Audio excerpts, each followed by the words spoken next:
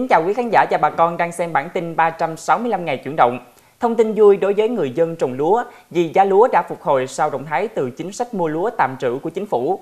Tiền Giang trên 100 tấn vú sữa đi Mỹ cũng là thông tin tốt lành cho bà con. Bản tin 365 ngày chuyển động hôm nay thông tin cụ thể nội dung trên và các mô hình, chính sách dành cho nông nghiệp, nông thôn ở Lâm Đồng. Mời bà con điểm qua cùng chúng tôi thông tin ngày hôm nay. Xứ sở ngàn hoa đa dạng chủng loại sắc hoa, nhưng hoa cúc chiếm tỷ lệ cao nhất trong cơ cấu hoa Lâm Đồng.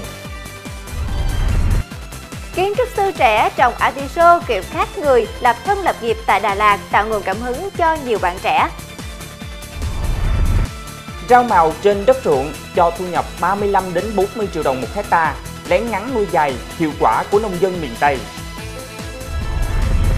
Agribank Lâm Đồng với giao dịch ngân hàng tự động rất hiệu quả, đưa vốn vào tận từng hộ dân, giúp cho nông dân dễ dàng tiếp cận vốn sản xuất.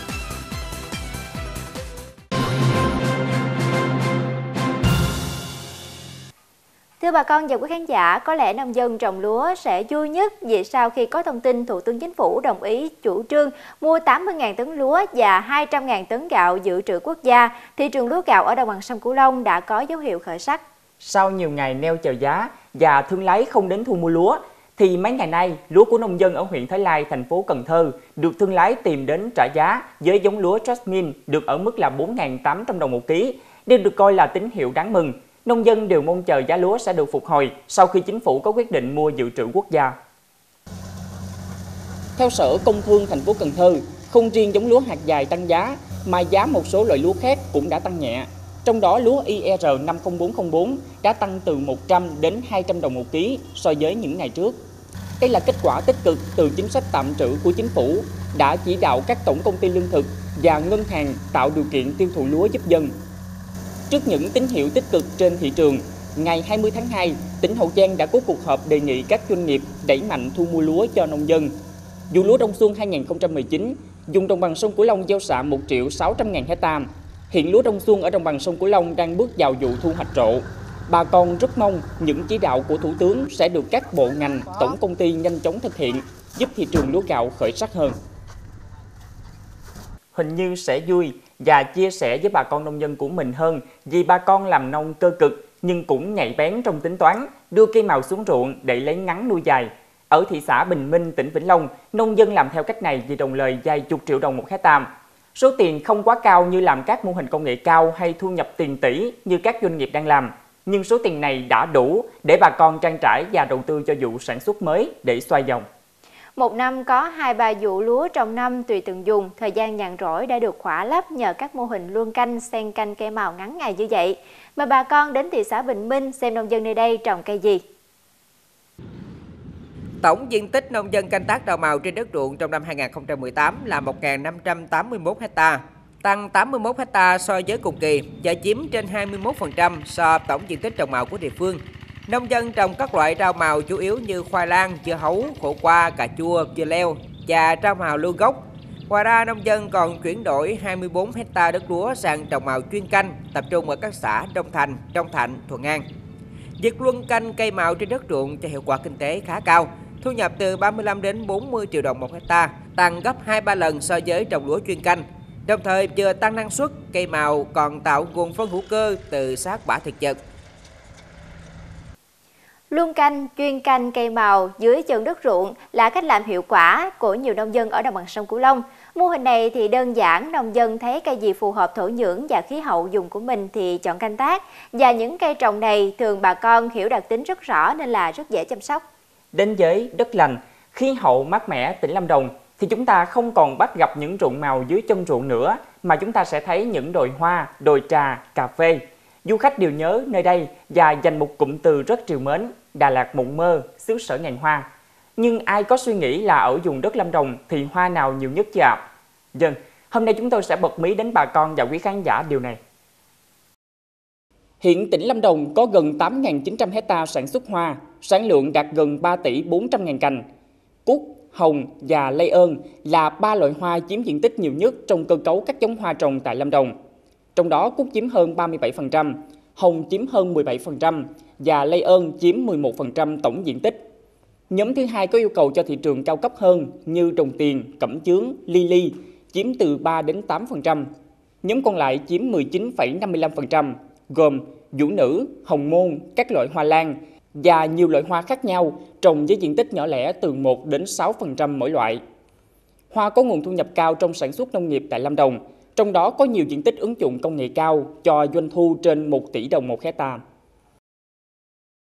Không hổ danh với danh xưng xứ sở ngàn hoa, những nhóm hoa đang canh tác cho thu nhập cao cả tỷ đồng một hecta. Hiện nay, việc ứng dụng công nghệ cao đang là phong trào lan tỏa sâu rộng đến từng hộ dân của tỉnh Lâm Đồng. Làm nông nghiệp công nghệ cao, hữu cơ, đảm bảo sức khỏe người tiêu dùng là cách để nông dân tự mình cạnh tranh trong xu thế mới. Nhưng kỹ thuật, vốn thì như thế nào?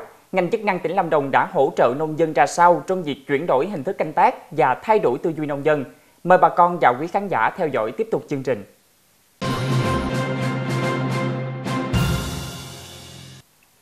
Kính thưa bà con nông dân, làm nông nghiệp, nông dân hơn nhau ở chỗ cần mẫn nhưng phải biết tính toán hợp lý dựa trên những gì mình có. Khư khư sản xuất cách truyền thống với một loại cây không hiệu quả sẽ khó làm giàu.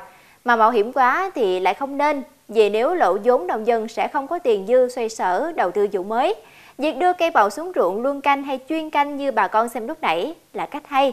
Nhưng một khi muốn thoát khỏi cách làm truyền thống sang hướng kinh tế nông nghiệp hữu cơ, nông nghiệp công nghệ cao, đòi hỏi nông dân phải có thời gian chuẩn bị. Ừ. À, tôi thì có một mô hình nông nghiệp thông minh của một chàng kiến trúc sư trồng atiso theo kiểu khác người một chút. Anh này quê ở Đà Lạt, Lâm Đồng. Kiểu khác người mà tôi nói là anh trồng atiso theo hướng hữu cơ kết hợp làm du lịch. Cách làm, cách quảng bá đến tiếp thị sản phẩm là một sự nhạy bén. Chúng ta hãy xem cách lập nghiệp của người thanh niên này ngay sau đây. Tốt nghiệp trường đại học Yosin Đà Lạt, chuyên ngành thiết kế nội thất, sau 3 năm làm bất động sản tại thành phố Hồ Chí Minh. Đầu năm 2018, Trần Minh Tuấn 28 tuổi quyết định trở về Đà Lạt cùng với ba mẹ làm nông nghiệp và anh chọn trồng atiso theo hướng hữu cơ gắn với làm du lịch. Với 4.000 m2, anh tự sản xuất theo cách riêng của mình. Giải thích vì sao chọn cây atiso, anh nói vì từ lúc trồng đến khi kết thúc một mùa vụ, người trồng có thể thu hoạch toàn bộ hoa, lá, thân và rễ của chúng. Là loại cây ưa dùng của các nhà hàng cũng như người dân du khách khi đến với thành phố Đà Lạt. Vì vậy, atiso của gia đình Tuấn luôn đắt hàng. Sản phẩm làm ra tại vườn có hai cách để đến tay người tiêu dùng. Thứ nhất, anh bán cho các thương lái đến mua tại vườn hoặc gia đình đưa ra chợ bán cho khách du lịch. Thứ hai, thông qua trang fanpage của mình, anh còn giới thiệu cho khách du lịch đến chụp hình và mua bông atiso ngay tại vườn. Đặc biệt với sự tìm tòi học hỏi của mình, Tuấn đã sử dụng loại thuốc sinh học để diệt trừ sâu bệnh trên cây atiso. Loại thuốc này được anh chế biến từ tỏi, gừng, ớt và rượu.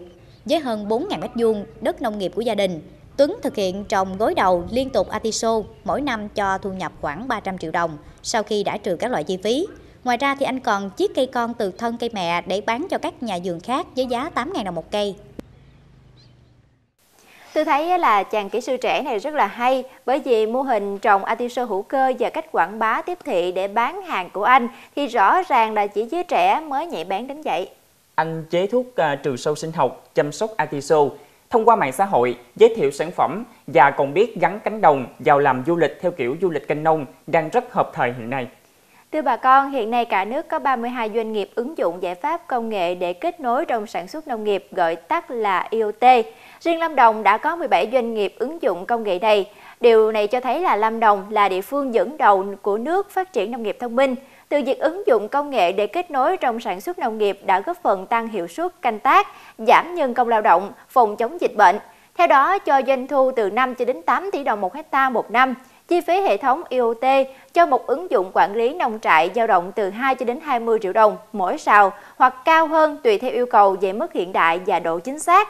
Để khai thác tiềm năng, lợi thế ứng dụng công nghệ để kết nối trong sản xuất, tỉnh tiếp tục đào tạo nguồn nhân lực chuyên sâu về công nghệ thông tin, làm giống và sản xuất và các trang thiết bị hỗ trợ cần thiết khi sản xuất ứng dụng IoT. Định hình, quy hoạch dùng sản xuất công nghệ cao, hướng dẫn tập huấn kỹ thuật cho nông dân là bước chuẩn bị từ từ của tỉnh Lâm Đồng, tỉnh đi đầu sản xuất nông nghiệp công nghệ cao cả nước. Nhưng vốn mới là yếu tố cần để phát triển làm nông nghiệp hiện đại. Tỉnh hỗ trợ nông dân bằng nguồn khác nhau trong dự án, lồng ghép hoặc kết nối nguồn quỹ từ nước ngoài. Để nông dân tiếp cận vốn nhanh, hiệu quả đến tận các hộ dùng sâu, dùng xa, mới đây Agribank chi nhánh Lâm Đồng đã triển khai điểm giao dịch ngân hàng tự động Autobank CDM. Dịch vụ mới CDM với màn hình cảm ứng thông minh giúp cho khách hàng gửi tiền nhanh chóng mà không phải xếp hàng tại quầy giao dịch. Từ đó giúp cho khách hàng tiết kiệm thời gian, không phải thực hiện nhiều thủ tục tại quầy giao dịch. Ngoài ra, với bộ xử lý thông minh, CDM còn có thể phân biệt tiền giả, tiền không đủ tiêu chuẩn lưu thông để giúp cho khách hàng yên tâm khi mà thực hiện giao dịch. Với những tính năng ưu việt của CDM so với các dịch vụ mà đơn vị đã triển khai từ trước đến nay, chắc chắn sẽ giúp cho khách hàng thuận lợi và yên tâm khi sử dụng dịch vụ mới này của Agribank chi nhánh Lâm Đồng. Phóng viên 365 ngày chuyển động ghi nhận thực tế hiệu quả này. Cùng với 23 chi nhánh Agribank trong cả nước, Agribank chi nhánh Lâm Đồng là đơn vị tiên phong triển khai dịch vụ ngân hàng giao dịch tự động Autobank CDM đặt tại trụ sở của chi nhánh số 23 Trần Phú, thành phố Đà Lạt. Nét nổi trội của CDM là tính năng ưu việt hơn so với các dịch vụ mà hệ thống ngân hàng nông nghiệp và phát triển nông thôn Agribank đã triển khai từ trước đến nay. Trong đó có dịch vụ thẻ ATM nhằm phục vụ tốt cho khách hàng của Agribank. À, vâng, với cái quan điểm là mang lại những cái tiện ích tốt nhất đối với khách hàng thì à, Agribank chi nhánh tỉnh Lâm Đồng ngoài các cái sản phẩm dịch vụ trước nay đã triển khai thì à, chúng tôi cũng luôn hướng đến cái những cái công nghệ hiện đại nhất và với cái à, cuộc cách mạng công nghệ 4.0 thì hiện nay chúng tôi đang à, đầu tư à, một cái nguồn ngân sách tương đối lớn để trang bị cái à, dòng ATM thế hệ mới nhất đó là cái à, CDM. Đây là một ngân hàng tự động À, 100% và à, khách hàng có thể à, hoàn toàn tự giao dịch các cái tự thực hiện các cái loại giao dịch. Ví dụ như là gửi tiền vào tài khoản, rồi nộp tiền rút tiền và các cái dịch vụ thông thường khác như như trước giờ vẫn sử dụng với các cái máy ATM bình thường. Thì với cái dịch vụ ngân hàng tự động như thế này, khách hàng có thể sử sử dụng 24 trên 7 CDM là hoạt động giao dịch sử dụng thẻ ATM. Ngoài việc thực hiện các chức năng tương tự một thẻ ATM, như rút tiền, chuyển khoản, nhấn tin số dư, in lịch sử giao dịch, gia hạn thẻ, rút tiền bằng mã, thì CDM còn có một số chức năng mới là gửi tiền.